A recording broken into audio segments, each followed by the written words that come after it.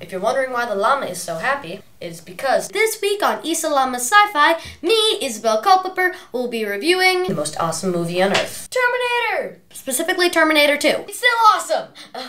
There's like explosions and a machine gun. Machine gun, everything, destroy the world. Awesomeness overload. I know last week was full of hate, but this week is full of awesomeness and love. My favorite part of the Terminator 2 was the part where the Terminator, the liquid one, he had blown his face up. Wait, no. My favorite part is when he's teaching the Terminator some more common words, like uh, words I can't say, because they're curses. Wait, no. The part where the Terminator um, is shooting the liquid Terminator and he has like shotguns. No. No.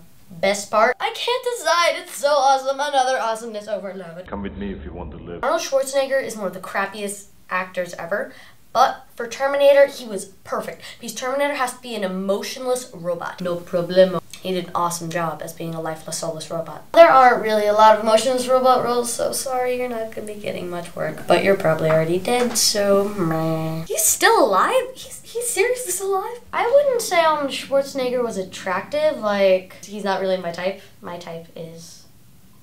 You know what? Never mind. I'm gonna go get my mom.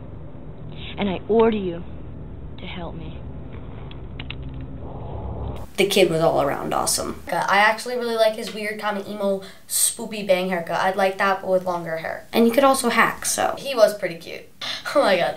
He just showed me a picture of the kid from Terminator now. Uh, kill me now, kill me now, kill me now, kill me now. I didn't need your help. I can take care of myself. Worst mom ever.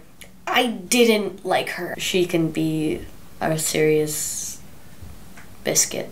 If I was going to create a Terminator, I would make it a kid. I would make it like a young, kind of six year old girl. They're the least suspecting to be an evil Terminator. She can like pull out a little like playground chalk that turned into like a giant shank and just like kill her victim. Done. Awesome. The person I would probably suspect of being a Terminator, Joey Graceffa. He seems so normal, but he does his Minecraft channel shirtless. If I could terminate any YouTuber, I would terminate the Facebook dad because he shot his daughter's laptop. Does that? Take it away. Don't shoot it with like a 49. I think that's what it was. 45? Oh, I thought it was a 49. I'll probably terminate the 49ers too. No offense, people in California, but I'm a Giants fan. Go Giants. Anyone who likes action packed films with not really much romance, but a lot of action packed stuff and kind of bonding and just amazingness in general um, would really like The Terminator 2.